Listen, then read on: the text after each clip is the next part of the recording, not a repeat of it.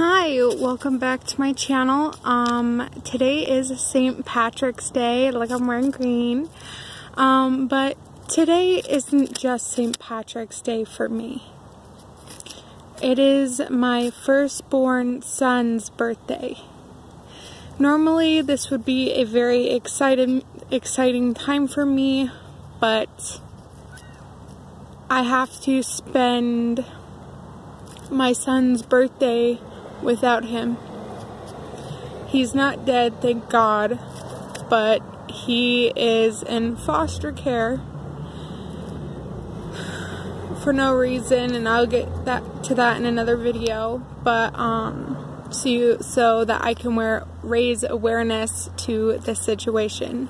But today is my beautiful, handsome son's birthday. Today he is turning five and he's such a big boy and I can't wait to see the day where I get to see him again.